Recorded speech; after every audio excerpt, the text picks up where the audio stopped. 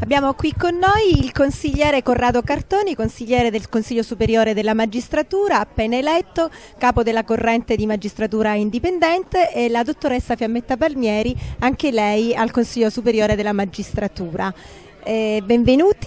Eh, stasera che cosa vi è piaciuto di più della presentazione del libro del vostro collega Angelo Martinelli?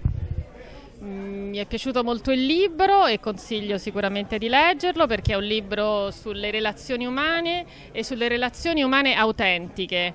Quindi è un invito alla ricerca per tutti noi a cercare le relazioni umane autentiche perché sono quelle che poi fanno la differenza nella nostra vita e che rendono la nostra vita veramente meritevole di essere vissuta. Consigliere Cartoni, il tema di questo concorso letterario è l'identità spirituale e socio-giuridica degli uomini di valore. Che significa essere un magistrato di valore? Fare con il proprio lavoro con senso del dovere, punto. Non, c'è altro da dire. Questo è, il magistrato di valore è uno che fa il proprio lavoro con senso del dovere. E i magistrati che scrivono? Che cosa ne pensa del suo collega Angelo Martinelli, così prolifico? Addirittura il suo ottavo romanzo. Beato lui che ha tempo per scrivere anche i libri, no, è una battuta chiaramente. No, è sicuramente meritevole anche perché dimostra come i magistrati non parlano solo di diritto ma conoscono anche altri aspetti della vita e trattano anche altri aspetti della vita, come diceva la dottoressa Fiammetta Palmieri, anche i sentimenti dell'uomo. Quindi un magistrato calato nel mondo, eh, quindi eh, dove va a finire questo, questo, libro? Ci porta un po' dove viene fatta la premiazione del, del nostro concorso letterario, vero?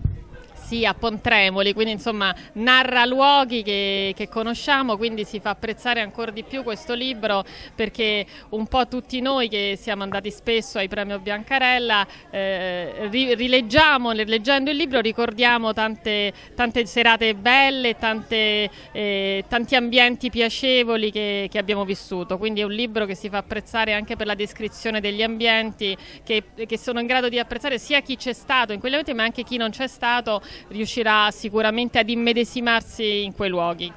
Quindi invitiamo tutti a raggiungerci a Pontremoli durante il premio Bancarella. Un'ultima domanda, consigliere, il suo particolare obiettivo per questa sua nuova consigliatura che durerà un bel po' e che la verrà impegnata per molti anni, ha un particolare obiettivo? Eh, l'obiettivo è svolgere un servizio per i colleghi, ecco io ho sempre avuto questa impostazione di servizio, cioè fare una consigliatura di servizio, non di potere, non politica, ma di esclusivo servizio, andando incontro a quelle che sono le esigenze concrete dei colleghi e della giurisdizione. Questo è l'obiettivo.